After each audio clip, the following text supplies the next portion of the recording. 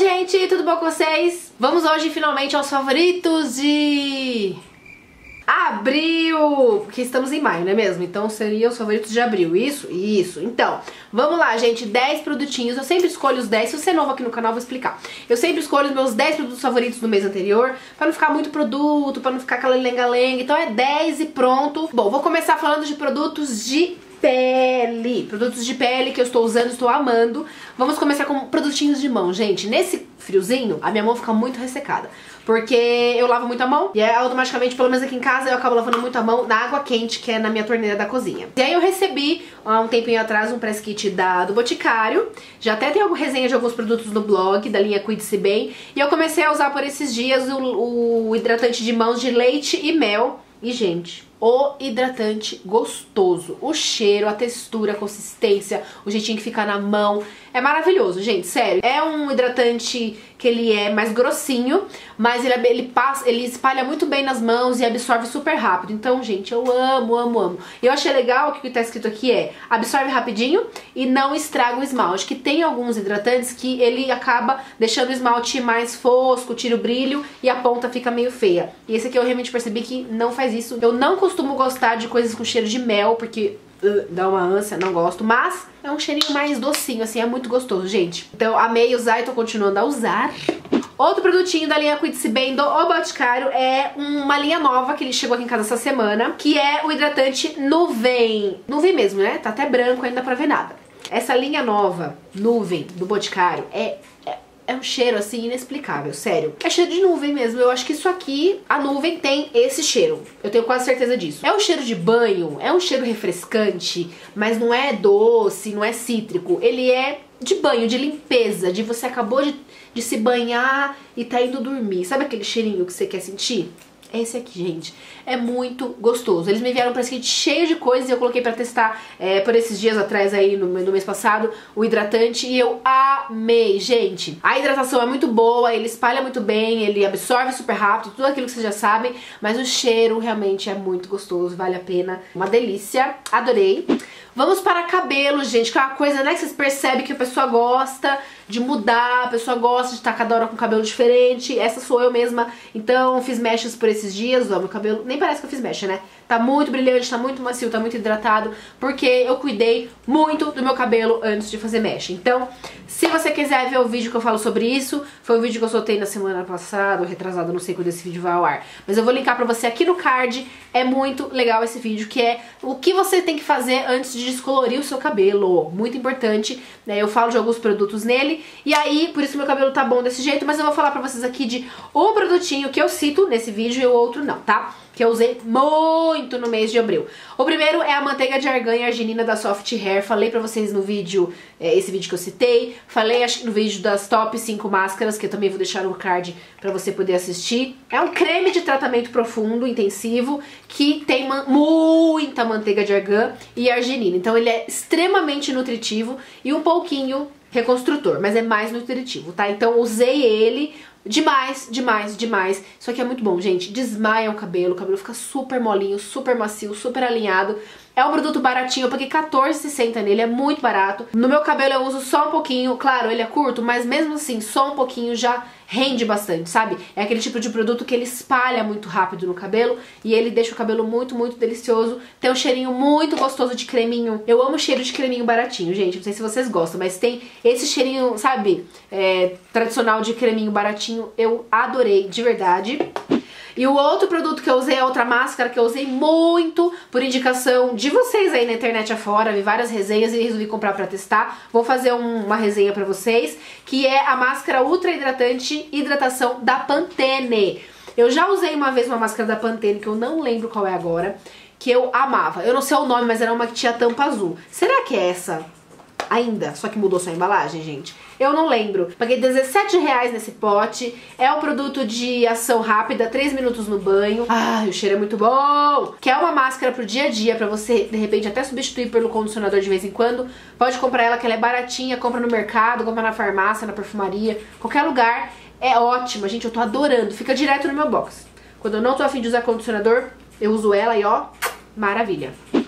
Mais um produtinho de cabelo, o último, eu tenho usado muito pra finalizar o meu cabelo. Eu faço escova no meu cabelo, principalmente nesse topinho aqui, ó porque é o topo que meu cabelo tem mais problema. Então, eu tenho que modelar ele, porque ele fica com cara de ué quando eu não modelo. Depois de fazer escova, gente, querendo ou não, a fricção da escova no cabelo dá uma estática, né, básica e dá um frizz estranho. Então o olhinho finalizador é muito importante para você baixar, dar uma acalmada nesses fios, aconchegar ele com o olhinho que ele gosta. Tenho usado muito esse olhinho aqui da Vela, que é o Oil Reflections. Ai, gente, o cheiro dele tem cheiro de, meio cheirinho de canela, assim, é uma delícia. Ele é um óleo leve, ele é um óleo é, mais fluido, né, aquele óleo grosso, e o cheirinho dele é uma delícia, fica no cabelo. Se você quiser comprar um óleo profissional que é bom, gente, os da Vela são ótimos. Esse Oil Reflections e o Lux Oil são ótimos maravilhosos. Então, tenho usado muito, muito, muito, muito ele.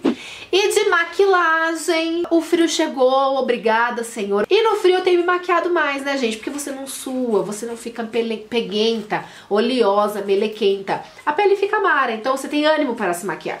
E aí eu tenho usado muito o de sempre, corretivo, pó, bronzerzinho e batom rímel, é isso que eu uso. O que eu tenho usado de novo, né, gente, porque eu sempre, eu tenho o costume de ter muitas coisas, mas eu uso sempre as mesmas coisas, é um saco. Então eu tô fazendo rotatividade dos meus produtos e o que eu tenho usado por esses dias mais é o corretivo Naked Skin da Ruby Rose. Eu prometo fazer um vídeo Quer dizer, se vocês quiserem, me digam aqui nos comentários. Senão eu faço só um post no blog. Me conta se vocês querem que eu faça um vídeo desse corretivo aqui. Ele é um corretivo de alta cobertura, é o que ele diz aqui. E eu tô amando, gente. Eu tô usando ele agora. Quem me conhece da vida real sem maquiagem, sabe que minha olheira é absurda, gente. É sério, é absurda. E ó, não parece, né? Então assim, esse corretivo é mara, gente.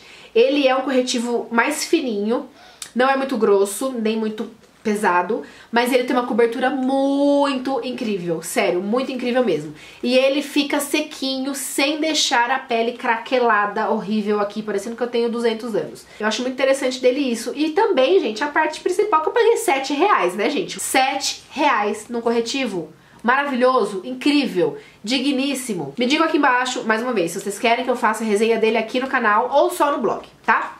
Próximo é o pó. Gente, o pó que eu tenho mais usado no dia a dia, porque eu sinto que ele é um pó que tem uma cobertura legal, apesar de ser translúcido, mas ele tem uma cobertura legal, ele deixa os meus poros muito, muito, muito disfarçados. Eu não sei o que tem nesse pó, que é o pó da Vult, gente. É o pó translúcido da Vult, ó, ele é bem branquinho, mas porque ele realmente é mais transparente, assim, sabe?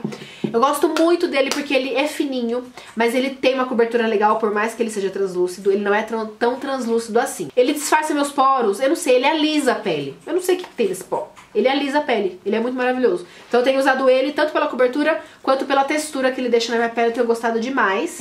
Bronzer, eu tenho usado muito o Bronze Divino 4 em 1 da Eudora, que é este daqui, ó, ele tem quatro tons diferentes, um iluminador meio dourado, o clarinho meio rosado, que é o que eu uso em mim, e esses dois, um médio e um mais escuro, que eu não uso, porque senão eu vou ficar com cara de que esfregou o tijolo na cara. Mas dá pra usar quando eu tô bronzeada. Eu amo esse bronzer porque ele é fininho, ele espalha muito bem, ele esfuma muito bem uh, deixando assim, não deixa aquelas marcas esquisitas, sabe? Que alguns produtos em pó deixam. Não, ele, ele esfuma super bem, fica super bonito na pele. Não tem uma cor de tijolo, que é avermelhada, ó, ele é mais rosado, que é essa cor aqui que eu uso. Ele é mais frio, então eu gosto muito por causa disso. E fora que ele é gigante, né, gente? Olha o tamanho do bicho, vai durar eternamente. Só que eu ganhei da Eudora, quando a Eudora ainda me notava, infelizmente a, Dora, a Eudora não me nota mais, mas tudo bem. Tenho usado muito também, gente, esse produtinho aqui tava até meio esquecido na minha, nas minhas coisas, mas eu voltei a usar, que ele é muito maravilhoso. Parece um produto bobo, mas pra mim faz toda a diferença, porque eu tenho as sobrancelhas muito rebeldes, elas querem ir para onde elas querem ir, sabe? Que é o gelzinho de sobrancelhas da Mary Kay. Gente, se você quer um gel de sobrancelha que realmente vai segurar a sua sobrancelha no lugar, esse daqui a sobrancelha não sai do lugar. Você passa a mão fica até duro, assim, sabe? É muito bacana, eu acho que é 50 e poucos reais um tubinho desse, é caro. Eu confesso, é caro. Mas olha, esse aqui eu tenho já vai fazer quase 3 anos e não tá nem perto de chegar no fim. Então, vale a pena tá, amiga? Se você quiser comprar sua sobrancelha quer ter vida própria igual a minha, esse aqui vale a pena, é bem legal e deixa a sobrancelha no lugar, eu tô usando bastante. E por último, gente, eu escolhi um batonzinho é, dentre todos que eu que eu uso porque eu vou variando muitos batons no meu dia a dia, mas eu tenho usado bastante esse daqui desde que eu recebi. A resenha saiu por esses dias aqui no canal, vou deixar linkado no card pra vocês verem, é, que é o batom mate da Vult, o que eu tô usando muito é a cor número 3, gente, que é essa cor de boca, assim, sabe? Marronzinho claro, meio rosado, cor de boca. Eu tô muito numa vibe de batom neutro, muito mesmo. Aqui nos vídeos eu até uso batom colorido, eu amo, mostro aqui pra vocês, pra realmente também diversificar a cara, senão fica a mesma cara em todos os vídeos. E também usar as coisas que eu recebo, etc. Mas no dia a dia, confesso que eu gosto muito mais de usar, tô, tô nessa fase de usar batom neutro, batom nude, batom marronzinho, batom rosadinho, claro, assim, tipo, neutro. Vão ver a resenha dele, eu vou deixar aqui no card pra você poder ver é, a linha toda e todas as cores, tá? E esses são meus favoritos de abril, gente. Meus 10 produtinhos que eu mais usei, que eu mais gostei, que mais se destacaram no mês de abril. Eu espero que vocês tenham gostado. A lista com todos os produtos vai estar no blog. Deixa o seu joinha nesse vídeo se você gostou. Se inscreve no canal se você ainda não é inscrito. E me sigam nas redes sociais, que vocês não perdem nenhuma novidade, que eu sempre tô postando uma coisinha ou outra por lá, no Facebook, no Instagram, no Stories. Enfim, me sigam lá, que vocês vão estar sempre por dentro de tudo, tá? Um beijo pra vocês e eu vejo vocês no próximo vídeo. Tchau!